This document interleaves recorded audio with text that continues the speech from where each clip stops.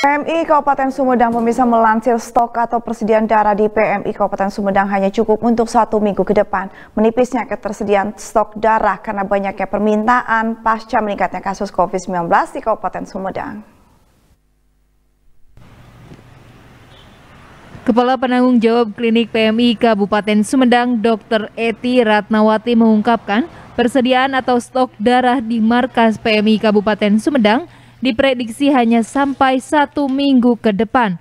Stok darah di PMI mulai menipis, salah satu faktor penyebabnya yakni permintaan yang meningkat pasca tingginya kasus COVID-19 di Kabupaten Sumedang.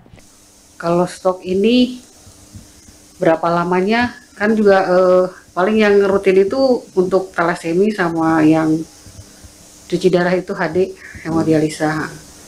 Jadi masih aman hari ya hitungannya. Hmm. Kalau sudah di angka 50 kita udah harus cari lagi. Hmm. Biasanya kalau nggak ada donor pengganti yang itu. Jadi yang mau yang butuh harus membawa orang untuk do, diambil darahnya. Gitu. Tapi sejauh ini sebetulnya aman atau gimana? Aman untuk satu minggu mungkin, ya. Menurut Eti Ratnawati, menipisnya persediaan darah di PMI Kabupaten Sumedang terjadi karena tingginya permintaan tidak dibarengi dengan jumlah pendonor. Menurut data, pendonor ke PMI Kabupaten Sumedang didominasi oleh pekerja dan saat ini pekerja sebagian besar tengah menjalankan work from home atau WFH. Diki Guntara, Bandung TV.